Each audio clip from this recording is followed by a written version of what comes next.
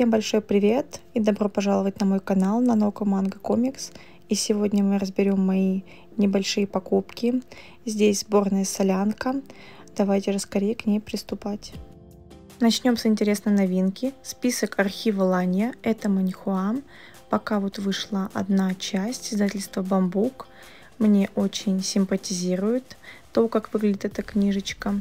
Также нравится, как написано название клапана. Давайте с вами посмотрим у супер обложки и саму основную обложку. В последнее время на нашем рынке очень много стало появляться азиатской литературы. Я очень этому рада, потому что я это люблю.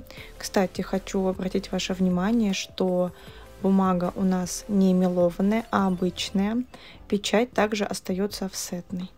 Рисунок 10 из 10, цвета тоже подобраны хорошо, но единственное, мне не хватает все-таки мелованной бумаги, потому что на мелованной бумаге это все выглядит лучше, цвета кажутся красочнее, сочнее.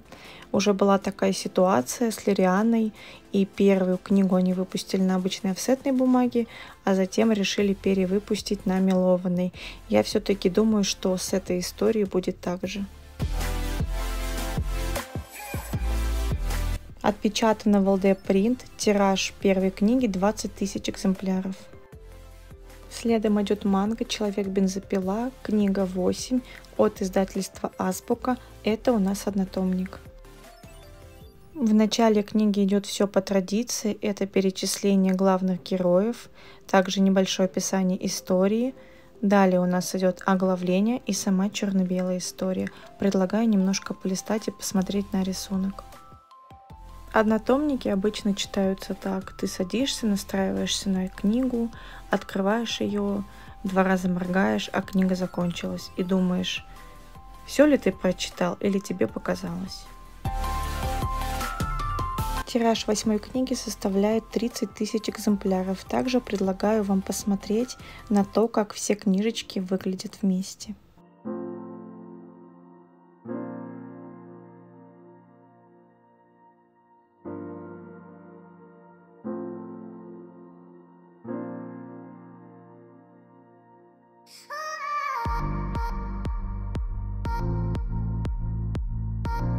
Далее комикс «Чародейки» от издательства Камильфо «Твердый переплет».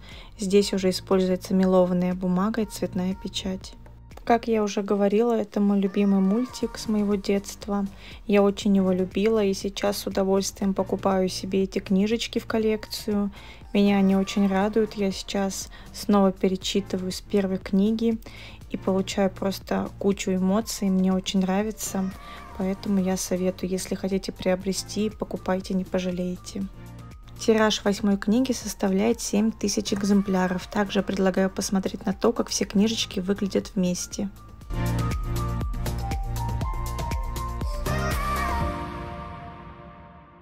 И на последнее, на самое вкусное, это «Сердца Пандоры», 11 книга от издательства Азбука. Это уже двухтомник. Мне очень симпатизирует основная обложка 11 книги. Также я уже подсмотрела, какая будет 12 книга, последняя. Подсмотрела я у Сергея Жорова. Привет тебе большой. Так что я ее очень жду, я уже ее заказала. И в следующих распаковках я вам ее покажу. В этой манге есть цветные странички, поэтому давайте на них посмотрим.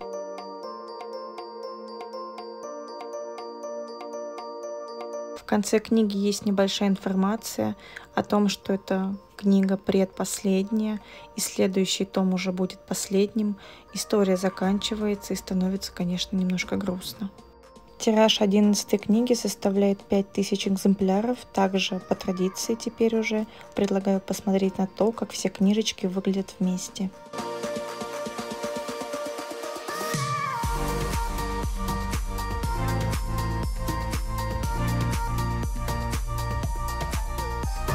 Спасибо огромное, что досматриваете мои видео до конца. Также не забывайте подписываться на мой телеграм-канал. Ссылочка будет в описании.